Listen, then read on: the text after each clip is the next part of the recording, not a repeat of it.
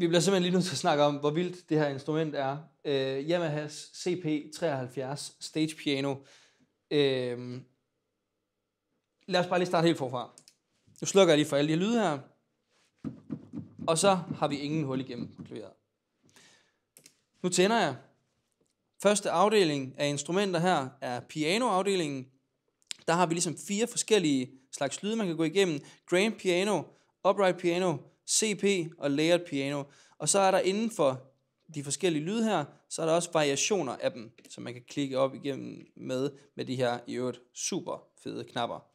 Øh, når vi snakker om super fede knapper, så er der de her tænd- og sluk-knapper. Det er simpelthen også bare, det virker vanvittigt godt. Vi hopper lige videre til den næste her. E-piano-instrumentet. Rhodes, Wurlitzer, klavinet og Yamaha DX Legend lyd. Også igen med mulighed for at skifte igennem de her varianter.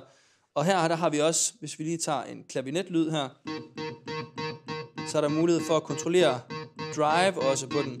Og derudover så er der herhen af andre effekter, man kan putte på også. Vi hopper lige videre til den her, som hedder sub eller sub. Og der har vi nogle øh, pad strings. Vi har noget all og chromatic percussion. Og så others her, der er mulighed for at skifte imellem noget synthesizer osv. Lad os lige tage fat i orglet her, fordi vi har nemlig også heroppe til at styre orglet. Tone wheel eller modulatoren her. Og lige ved siden af pitch wheel. Så er vi nået herhen. Det er her effekterne sidder.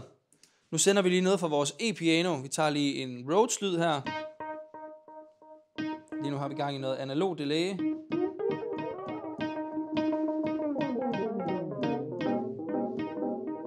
Jeg kan også fyre noget reverb på.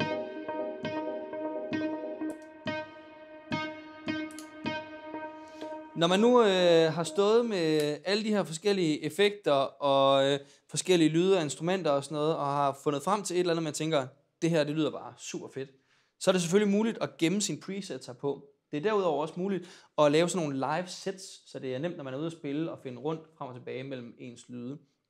Øhm, vægtede tangenter, super nemt at spille på. Noget af det mest intuitive, øh, jeg har stået med nogensinde, det virker simpelthen så godt og nemt, det her system med, at man tænder og slukker hernede, og man kan se, nu er der tændt for den her afdeling her, alt andet er slukket, der er ikke noget, der lyser. Det virker bare så nemt og overskueligt. Dejligt instrument at spille på. Yamaha CP73.